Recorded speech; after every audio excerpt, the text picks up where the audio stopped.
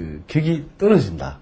만화방이라는 데 있었죠. 대본소 만화방이라는 데가 아주 그 환경도 그렇고 암침한 데서 이런 데서 아이들이 어린이들이 이제 만화방에 책을 사서 있으니까 만화방에 자주 가지 않습니까? 가고 그러니까 여러 가지 공부에도 지장이 있고 건강에도 문제가 생기고 뭐 하니까 만화라는 거는 이 어린이들에게 유익한 게 아니고 예, 해를 좀 독 같은 존재다 이런 이 상황이 돼가지고 그게 뭐 그때는 어린이날이면 그 대본소 만화 수거하다가 어디 광장에 이렇게 쌓아놓고 막 불사지르고 그랬잖아요.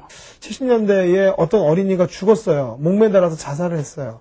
정병규 군이라는 어린이가 자살을 했는데 초등학교 3학년인가 2학년인가 자살했는데 자살하자, 자살하자마자 그 다음날 신문에 원인이 뭐라고 했냐면 만화를 보고 만화를 흉내내다 죽었다고 나왔어요.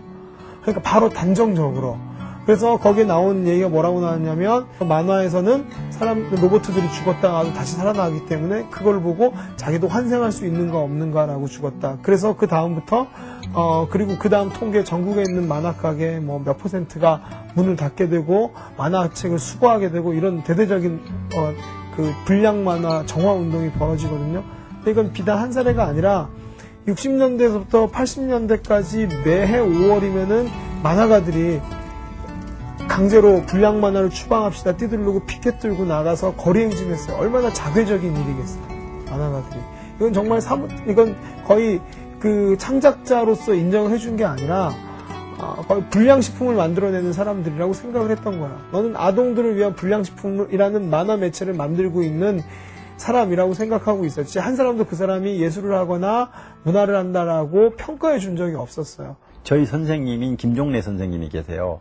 2001년도에 돌아가셨는데 돌아가시기 3, 4년 전에 제가 뵙고 여쭤봤어요. 선생님, 왜 선생님이 빛나번쩍하고 그 총명하고 함량이 꽉 찬 50, 바로 그 되던 그 무렵에 은퇴를 하셨습니까? 제가 생각할 때 선생님이야말로 그 이전에 20대, 30대, 40대가 있었지만 50 바로 이 대목으로 들어간다라는 것은 이젠 노숙해지고 중후해지고 그야말로 대가의 반열에 들어설 수 있는 그런 풍모들을 가져가는 연륜의 시기라고 보는데 해필 그때 왜 말아버렸습니까? 자네가 몰라서 묻나? 60년대, 70년대 거치면서 정말로 그분은 정말 만화가예요. 정말로 만화밖에 모르는 사람이에요. 이 온거지 쳐다보고 그려나가면 그렇게 황홀하고 좋아서 그렇게 그리고 있는데 딱 온거지 털고 나서 일어나면 아침 신문 보면 만화 화영식, 만화는 불량, 불량 만화, 불량 만화, 불량 만화. 왜 만화를 이렇게 없애려고 생각을 할까? 애들이 공부하는데 방해가 된다고. 그 결론은 뭐냐면 어른들이 만화를 안 보고 만화를 오히려 애들만 보니까 어른들이 같이 공유하는 소설이나 영화나 이런 것은 문제가 있으면 아동용, 어른용으로 가르는 것을 시도하는데 만화 자체는 없애자라고 할 수 있을 만큼 이것이 어른들한테 전혀 전파가 안 돼 있다는 거예요. 아무리 사회와 어른들이 만화를 못 살게 해도 밥보다 만화를 더 좋아하는 어린 독자들이 있어 작가들은 만화를 떠날 수 없었습니다. 이렇게 어린 독자와 작가들의 정렬로 성장해 가던 70년대 우리 명랑 만화는 새로운 전기를 맞게 됩니다.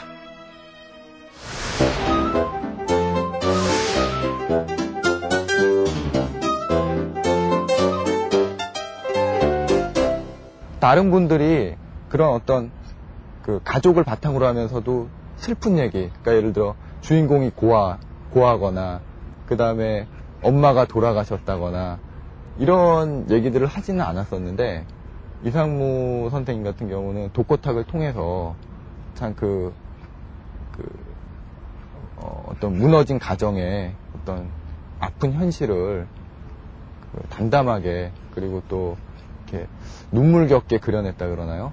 그런 면에서 어, 또 폭발적인 인기를 얻을 수 있었죠. 그러니까 당시에 1960, 70년대 역시 최고 작가를 꼽으라면 또 이상무 선생님을 빼놓을 수가 없습니다. 그때는 먹는다는 것, 그 가난, 음, 뭐 이런 것들이 전부 그 생활 전체를 지배하고 있었으니까 그러다가 가끔 특권층의 사람이라든가 특권층 세계의 사람들에서 도약한다는 것이 그 당시 서민들의 큰 희망이었죠. 그래서 저는 이제 그래서 뭐 그런 경제적인 꼭 이유를 따지기 전에 이제 주로 이제 스포츠를 내가 좋아하는 스포츠를 통해서 다른 어떤 뭐를 통해서 그런 신분 상승이라 할까 또 그러고 자기의 어떤 벽을 허물어 가서 뚫고 나가는 그런 것에 내가 많이 좀 천작했던 것 같습니다. 무지무지 가슴 속으로는 울고 있는 애가 겉으로는 맨날 웃고 다니는 거예요. 그리고 거기에 얘는 거의 스포츠를 해요. 그러니까 스포츠는 활극이죠. 다이나믹하단 말이죠. 스토리 자체가. 거기에 속으로 울고 있는 건 언제나 슬픈 정서니까 이거는 순정적인 요소예요. 순정 만화 요소. 근데 그때는 계속 낄낄대고 웃고 장난치고 개살군질 하니까 이거는 명랑 요소를 가지고 있는 거죠. 그러니까 그 세 가지 스토리를 같이 요소로 들고 들어가니까 그 어떤 만화보다도 이상무 만화는 남녀노소가 다 즐겼단 말이에요. 다 읽으면 눈물 한 방울 뚝 떨어뜨려야 되는. 스포츠가 이야기할 적에 뭐 인생의 축소판이니 또 다른 뭐 드라마니 뭐 이런 얘기를 스포츠 경기에 많이 하지 않습니까?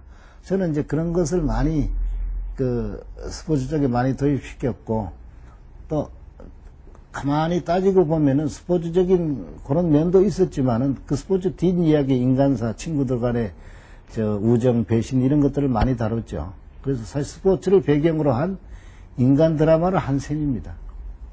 그러니까 굉장히 꿋꿋하고 어 자신감을 갖고 살아나가는 그런 캐릭터라든지 뭔가 상처를 가지고 있는 그러나 80년대의 까치와는 또 다른 인물 까치가 매우 직선적이고 그 삶이 격정적이라면 오히려 어, 독고탁은 가족 중심적이고 가족의 가치 그다음 형제 이런 것들을 강조한 캐릭터죠.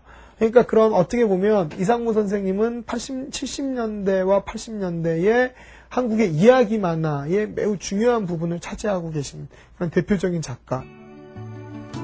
신문수, 길창덕, 윤승훈, 그리고 이상무 등의 작품이 열렬한 박수를 받으며 어린이 만화 전성기를 열어가고 있을 즈음 우리 만화에 새로운 흐름이 생겨납니다. 어른들을 위한 성인 만화가 등장한 것입니다. 만화가 아이들만의 재밌거리가 아닌 어른들의 문화로 자리매김할 수 있게 된 데에는 박수동 작가와